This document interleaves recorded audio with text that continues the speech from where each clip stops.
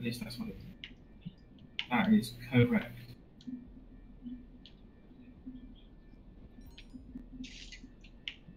You know what do what to do.